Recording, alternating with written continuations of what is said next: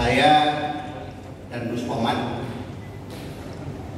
siang. Oke, ya dan kasih ya. Kasih.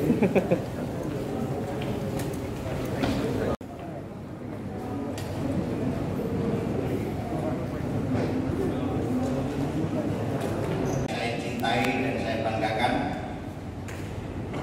Pertama, kami akan menyampaikan hasil perkembangan penyidikan dan penyelidikan tentang perkara perusakan markas Polsek Ciracas dan sekitarnya yang terjadi pada hari Sabtu tanggal 29 Agustus 2020 sekira pukul 01.30 waktu Indonesia Barat yang diduga dilakukan oleh sekelompok oknum anggota TNI yang di dalamnya ada oknum TNI Angkatan Darat.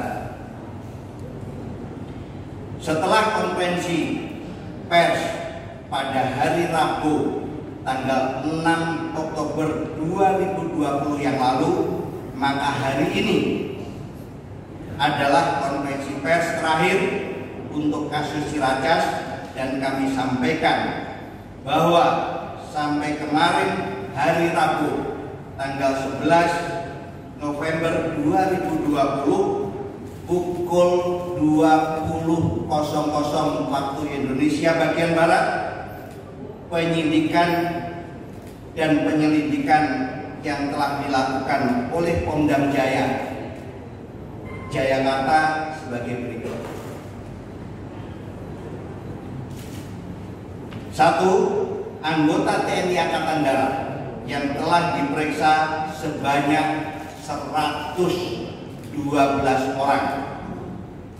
Dua, saksi diperiksa sebanyak 111 orang yang terdiri dari TNI AD sebanyak 52 orang, TNI AL sebanyak 7 orang, Polri sebanyak 2 orang, masyarakat sebanyak 50 orang. Tiga, berdasarkan keterangan saksi dan alat bukti yang ada, sebanyak 67 orang yang terdiri dari 25 satuan di jajaran TNI dan TNI Angkatan Darat telah ditetapkan statusnya sebagai tersangka dan dilakukan penahanan.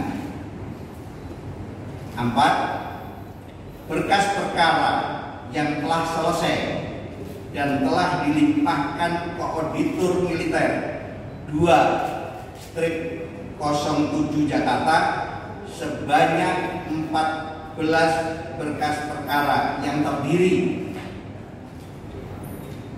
berkas perkara nomor BP 55 garis miring A 49 9 Romawi 2020 tanggal 27 September 2020 atas nama Prada MI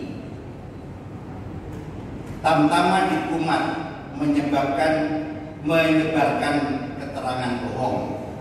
Beberapa kasus yang diduga melibatkan oknum TNI Angkatan Darat yang dilakukan secara tuntas dan tidak ada yang ditutup-tutupi. Sebagai berikut. Satu kasus perusakan Mapolsek Ciracas dan sekitarnya di Jakarta Timur pada tanggal 29 Agustus 2020 yang diduga dilakukan oleh kelompok oknum anggota TNI dan di dalamnya ada anggota TNI Angkatan Darat. Dua, penganiayaan dan perusakan Polres Batur yaitu Buton Utara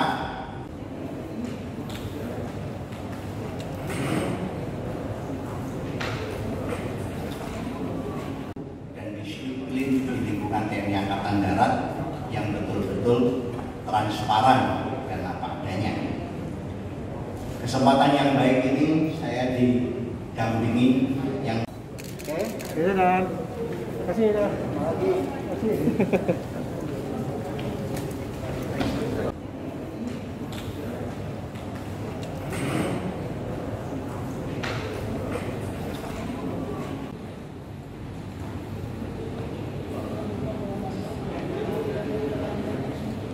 dan disiplin di lingkungan TNI Angkatan Darat yang betul-betul transparan dan apa adanya.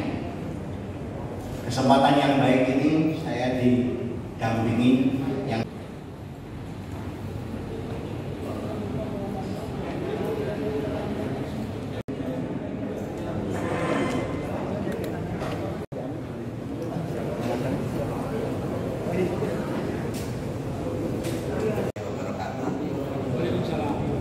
Selamat Jangan lupa subscribe ya.